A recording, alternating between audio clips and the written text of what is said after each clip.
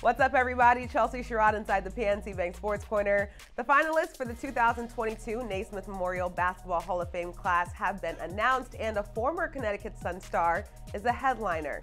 Lindsay Whalen is a first-time nominee. She was a first-round draft pick by the Sun in 2004 and was in Connecticut through the 2009 season. She went on to win four WNBA titles with the Minnesota Lynx and is a two-time Olympic gold medalist.